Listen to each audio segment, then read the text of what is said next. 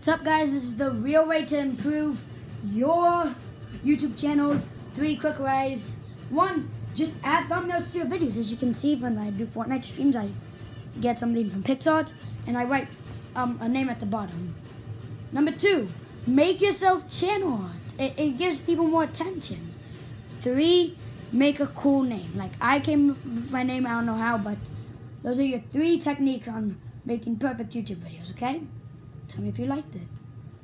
I'll do a higher technique maybe later, but I don't know. Peace. Maybe I'll do a tutorial maybe, I don't know.